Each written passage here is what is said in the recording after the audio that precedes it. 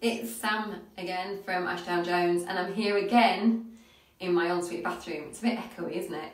Tess is taking the video this morning, and uh, I'm here to experiment with some of the uh, cures and solutions that you all recommended to get this label residue off the back of my toilet. Can you see? It's pretty tough.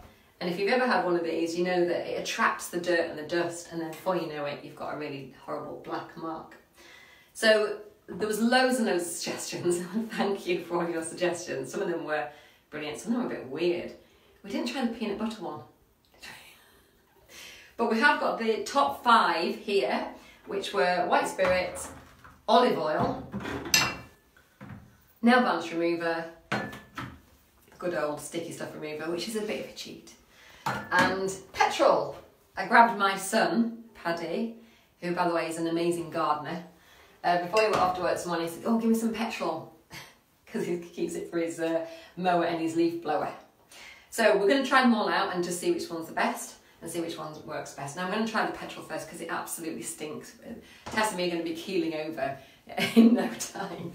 So I'm going to put a little bit on like this and I'm going to just rub away at it here. And you see it's coming off. Yeah, it is coming off. Okay, so it would need a bit more elbow grease, but I'm going to give that, yeah, I'm going to give that pretty much a, a pass. So yes on the petrol. let's get it out of the way. All right, let's try the nail varnish remover next. Good if they all worked, wouldn't it? Mm. okay, nail varnish remover. This is Tessa's, so thank you.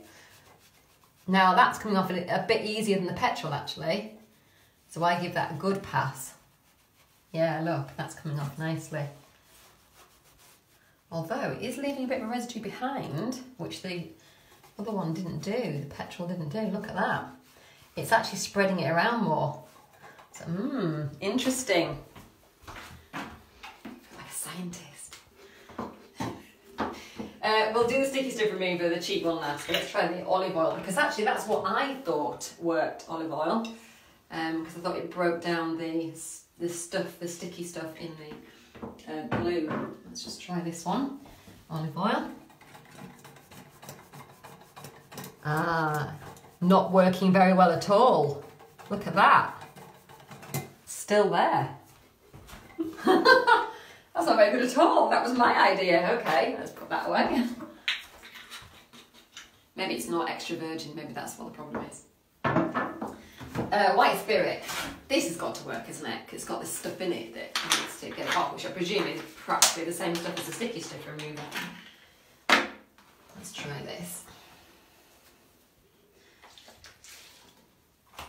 I'm going to need to wash my hands while I go to work. Ready? I'm going to try it in the middle bit here.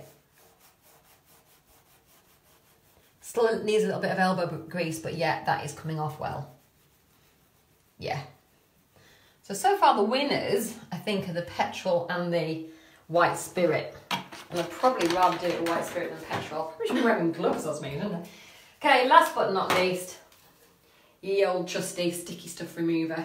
This one was from uh, Amazon, but I'm pretty sure Lakeland do one actually, don't they? So let's just try a bit of this. I'm not sure how you're supposed to put it on. You're supposed to put it on there first. There we go. Ah, not as good. Definitely not as good. Look, I'm having to put a lot of elbow grease into that. No, that is a fail. Sticky stuff remover, that is a fail on my toilet. Right, so which ones did we say were best? White spirit and, and petrol. petrol. Don't use petrol. I'm not going to use a petrol one because Tess and me will be gassed and there'll be no work done today. Very small and sweet. So and it's a very small sweet. So let's just try the stick the uh, white spirit. Look, cheap, cheap white spirit. Let's just try and get the rest of it off with this because I think that is probably the answer. Yep. Look at that. I'm not going to spend the whole morning on Facebook Live getting it off, but look at that, that is an absolute pass. So well done those of you who said white spirit, because I think that is my number one choice for getting this label off this toilet. So there you go, you can go about your Monday in peace. and reassurance knowing how to get label residue of your appliances at home. So have a fantastic Monday and I'll catch you all soon. Bye for now.